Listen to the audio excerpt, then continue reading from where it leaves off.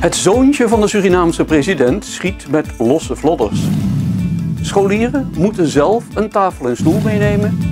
En president Santokki met een twaalfkoppige delegatie naar de Dominicaanse Republiek.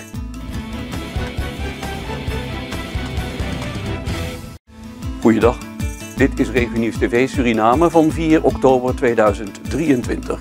Het nieuws voor 1 miljoen Surinamers. Het zoontje van de Surinaamse president schiet met losse vlodders. Dat bleek op een persconferentie van zijn pa. Riciano Santocchi heeft geen speciale bestuurlijke bevoegdheden. Hij is slechts een ambtenaar in dienst van het ministerie van Bibis. Dat zei het staatshoofd gisteren op vragen van de media over de rel tussen zijn zoon en de directeur van het Bureau voor Burgerzaken. Riciano dreigde Anastasia Canapé te laten ontheffen omdat hij bij haar zijn zin niet kreeg. Dat zou hij doen op grond van een presidentieel besluit dat speciale bevoegdheden zou geven aan de presidentiële familie. Daarbij sloeg hij discriminerende en racistische taal uit. Maar de bedreiging was slechts een losse vlodder, al dus de president.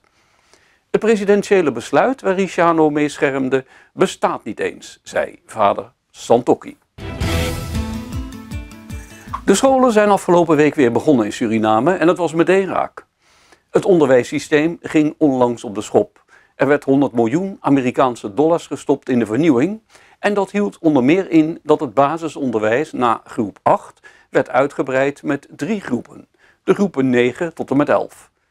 Dat bracht met zich mee dat er opeens meer schoolgebouwen en op zijn minst meer klaslokalen dan wel grotere lesruimte nodig waren. Die kwamen er echter niet. Hierdoor ontstond ook een tekort aan schoolmeubilair. Scholieren moeten daarom zelf een tafel en een stoel meenemen. Sommige scholen stuurden leerlingen naar huis omdat ze geen zitplek hadden. Bovendien zijn nog niet alle scholieren geplaatst. Veel kinderen kunnen nog niet worden ingeschreven omdat er simpelweg te weinig plek is.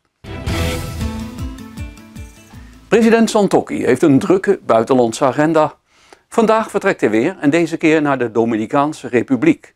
Hij is uitgenodigd door zijn ambtsgenoot Luis Rodolfo Abinader Corona om te praten over het versterken van de bilaterale samenwerking. Het staatshoofd vertrekt vandaag en keert op 8 oktober terug. Suriname heeft al lange tijd goede betrekkingen met de Dominicanen. De twee landen willen de samenwerking verbreden op de gebieden van handel, investeringen, onderwijs, energie en landbouw. Er reist een delegatie van twaalf zakenlieden mee met Santokki. Die zullen in de Dominicaanse Republiek een eigen programma afwerken.